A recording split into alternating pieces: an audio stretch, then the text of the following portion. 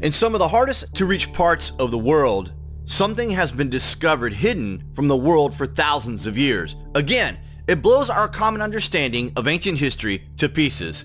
This is truly one of the greatest mysteries of the ancient world ever to be uncovered. Wait till you hear this. Egyptian hieroglyphs have been discovered in Australia dating back at least 5,000 years.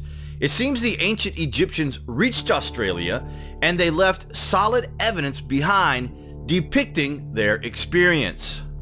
When these symbols were deciphered by accomplished Egyptologists, a story unfolded that is one of the most remarkable finds in the history of humankind.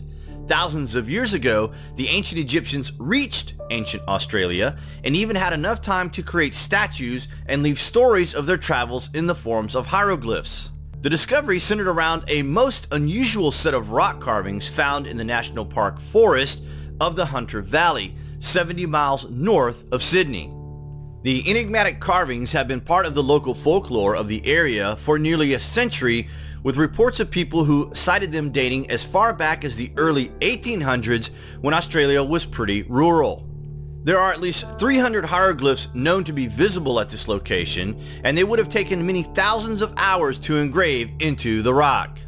Protected by the remaining section of stone roof it is a remarkable life-size carving of the ancient Egyptian god Anubis. These hieroglyphs are extremely ancient and in the archaic style of the early dynasties. This style is very little known and untranslatable by most Egyptologists who are all trained to read Middle Egyptian upward. The classic Egyptian dictionaries only handle Middle Egyptian and there are a few people in the world who can read and translate the early formative style. Because the Old Style contains early forms of glyphs that correlate with archaic Phoenician and Sumerian sources, one can see how the researchers who saw them could so easily have thought them to be bizarre and ill-conceived forgeries.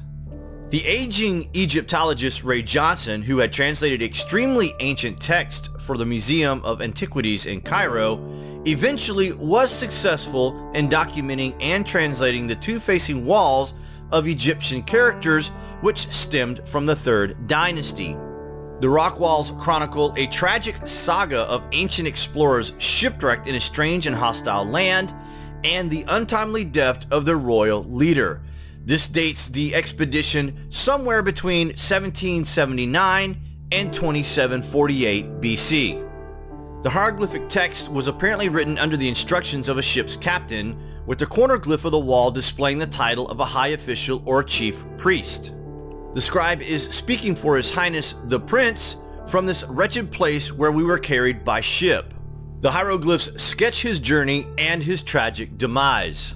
This discovery gives us significant evidence that the ancients were well aware of the Great South Land, there were both Sumerian and Mayan traditions of a lost motherland in the Pacific. Australia appears under the name of Antici and the famous spherical world map of Crates of Mallos even appearing in the Greek map of Eratosthenes in 239 BC. It's fairly certain that the maritime civilizations of antiquity were quite capable of extensive ocean voyages, particularly the early Egyptians.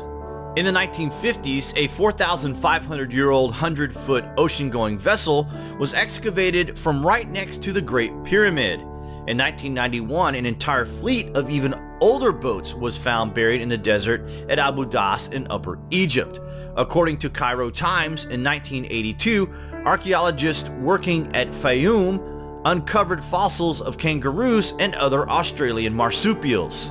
And there's also the strange set of golden boomerangs discovered by Professor Carter in the tomb of Tutankhamun in 1922. But this is not even scratching the surface. In 1931, Australian anthropologist Sir Grafton Elliot Smith examined mummified remains in a New Zealand cave. He identified the skull as being that of an ancient Egyptian, at least 4,000 years old. A gold scarab was also dug up.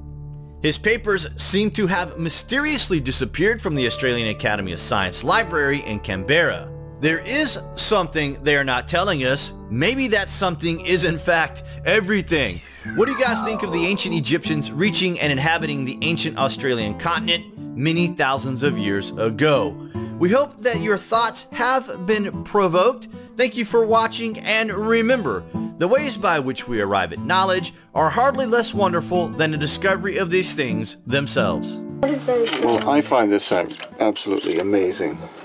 And what's impressive is not only that it's been translated by Yusuf Awyan and Mohammed Ibrahim, who are, again, e Egyptian experts in hieroglyphics, but also that the weathering and also the presence of lichen and moss is the same on the surface as it is in the indentations. And so to me, not being a geologist, but that would indicate significant age of both.